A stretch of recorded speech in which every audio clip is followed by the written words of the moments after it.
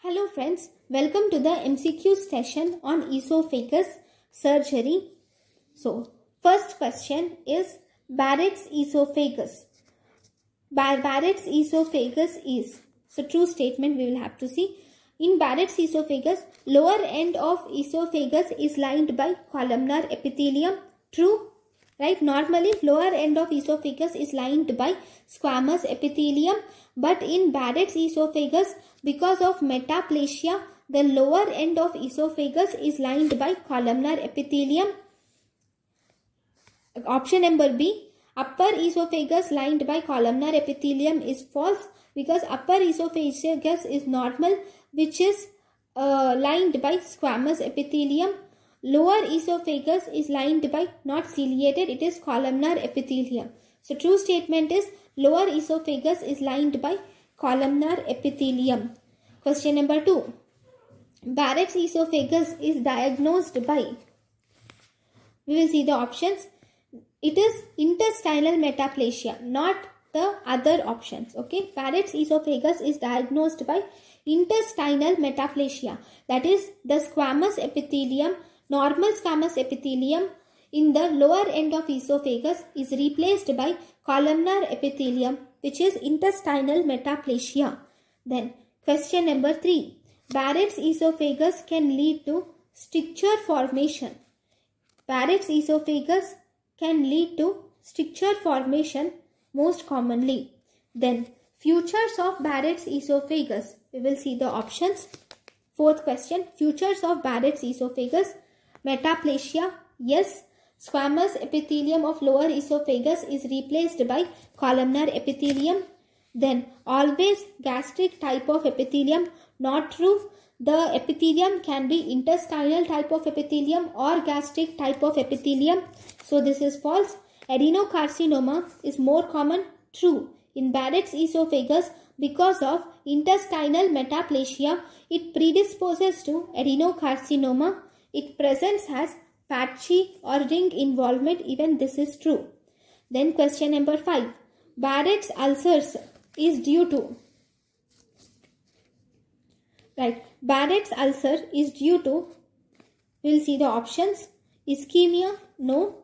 Endoctopic gastric mucosa, no. Bile reflux, no. It is reflux esophagitis.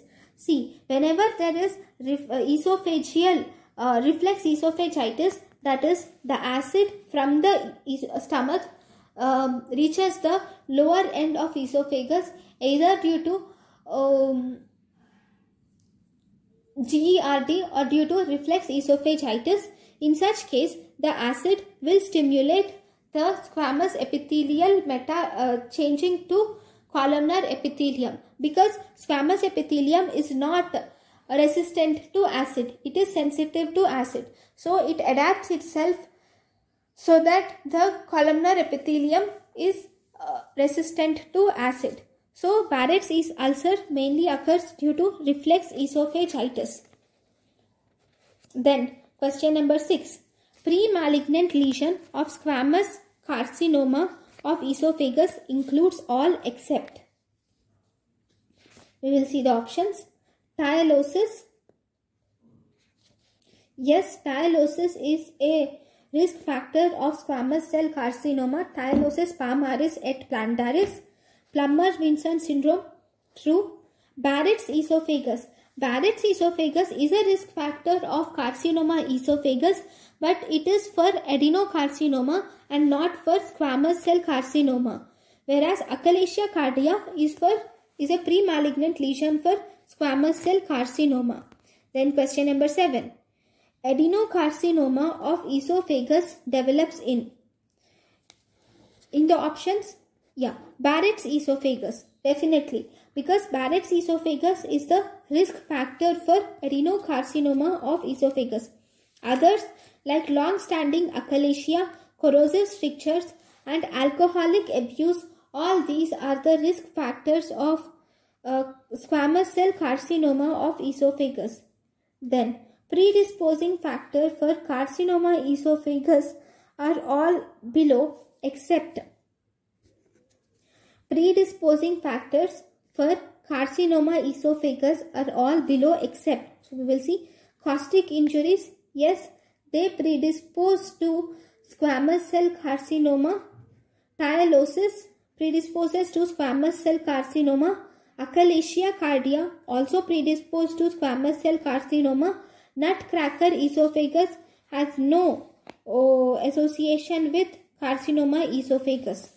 Which of the following is not a risk factor of squamous cell carcinoma of esophagus?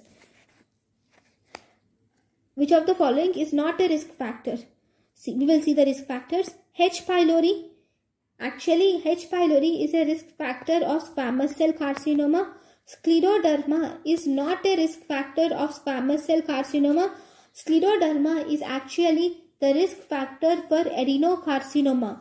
H. pylori is a risk factor for squamous cell carcinoma and it is protective for adenocarcinoma. Then smoking and alcohol is a risk factor of squamous cell carcinoma. Lice strictures are also a risk factor for squamous cell carcinoma.